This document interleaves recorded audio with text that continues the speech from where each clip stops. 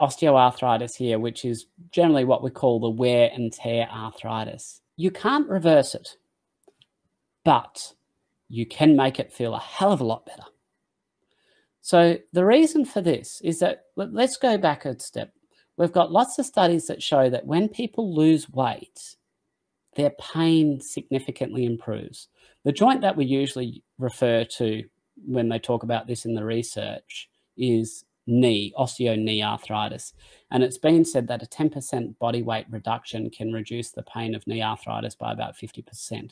So most of the data would actually suggest it's probably only about 30%, but that's still pretty significant. And if it was only due to the weight loss, then we'd expect it to be proportional. We'd expect a 10% reduction in body weight to lead to a 10% reduction in pain, not a 30% or a 50%. So why is it? So it's very well accepted now that it comes down to a cytokine effect, that circulating molecules within our blood, messenger molecules. And I can tell you what those molecules are. So if you actually think about you, you get a soup bone, like the one you're going to make a big soup out of, or you're going to give to a dog or something like that. And you know how you've got this shininess on the end of it. Um, it's it's shiny, whereas the shaft of the bone is actually a little bit dull. So that shininess on the end is actually called articular cartilage. That's super smooth, super hard wearing. In actual fact, two sheets of articular cartilage rubbing against each other have less friction than wet ice. It, it's really smooth stuff. And apparently, I, I, don't know how true this is, if you shoot a puck uh, on ice, if you could shoot that same puck on human articular cartilage, it would go six times farther.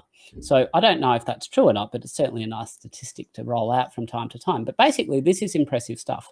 Now, if you were to slowly grind this articular cartilage down, that's arthritis. And when we talk about grade one, two, three, or four, we're really just talking about is it the first 25%? Are you in the next 50%, 75%, or how far through it are you? That's how we grade it.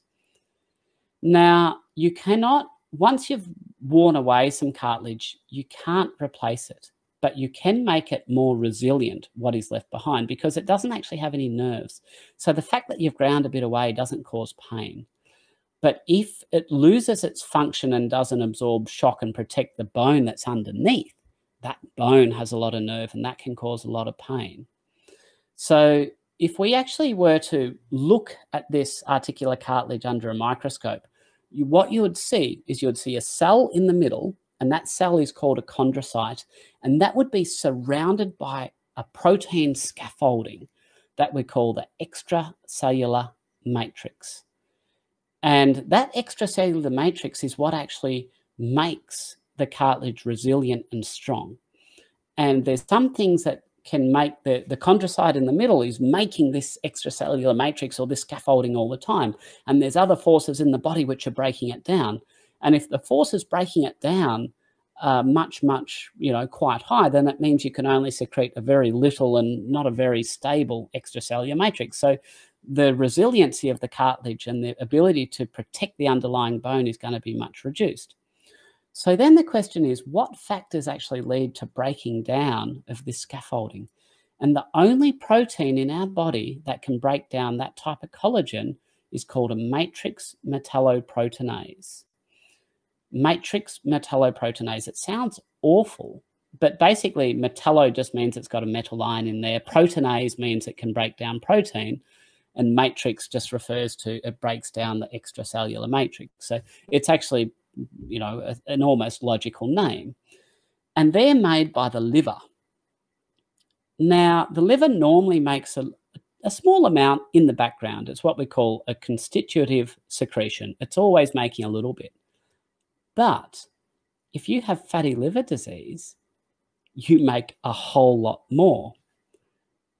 And some of that extra stuff that gets made circulates around the rest of the body and it gets exposed exposed to your cartilages, to this extracellular matrix. So it weakens it. So it weakens all the proteins and all the collagen proteins in the body. And so that means that you're more likely to develop tendon injuries, which are also made of collagen. You're more likely to have arthritis pain because you, the lining of your joints is less resilient. So when you lose a little bit of weight, The beautiful thing is the weight that you lose first actually comes away from your liver. So even before you lose the pot belly, you're reversing fatty liver disease. You reverse fatty liver disease, reduce the amount of fat in the liver, the body makes less of these matrix metalloproteinases. We abbreviate them as MMPs. If you have less MMPs, then that means there's less of this breakdown stress on your articular cartilage. And even though you've got the same amount of cells, the same amount of chondrocytes, that hasn't changed. It means that the area around them, that scaffolding, is much bigger and much stronger and much more resilient, and that protects the underlying bones.